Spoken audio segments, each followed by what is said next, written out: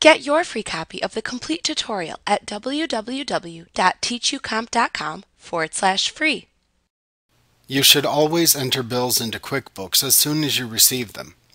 To enter a bill, select Vendors and then choose the Enter Bills command from the menu bar to open the Enter Bills window. The top half of the Enter Bills window is where you enter the bill information.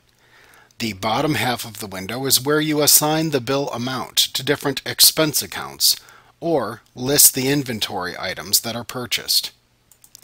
When entering bills for inventory items received, note that the Bill Received checkbox at the top of the window has a checkmark in it by default. You should only clear the check from this box if using QuickBooks for purchase orders and inventory, and you want to record items you have received but have not been billed for yet. Removing the check from this box in that situation changes the transaction into an item receipt instead. When entering a bill, select the name of the vendor that sent you the bill from the vendor dropdown. Ensure that you have entered the date on which you received the bill into the date field.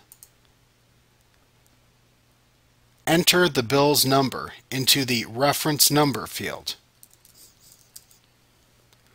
Then enter the amount of the bill into the amount due field. Ensure that you have the correct due date set by using the Bill Due drop-down field.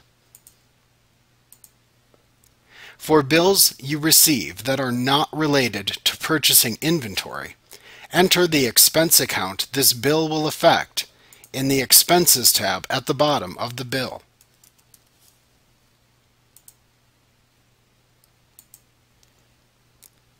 That way, when you later create the check that pays this bill, you won't need to re-enter any accounting information.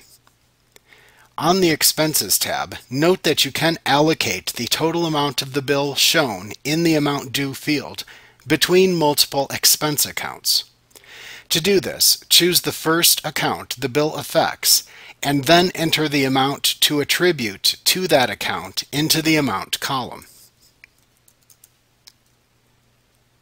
Then click into the next row under the Account column and select the Next account affected by the bill amount.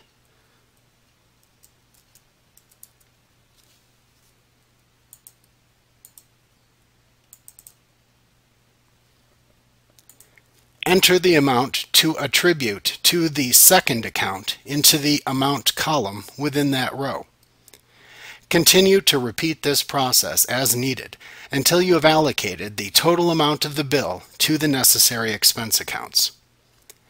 After entering the bill and attributing it to the correct accounts, you can save the bill by either clicking the Save and Close button to save the bill and close the window, or clicking the Save and New button to save the transaction and leave the Enter Bills window open for further bill entry.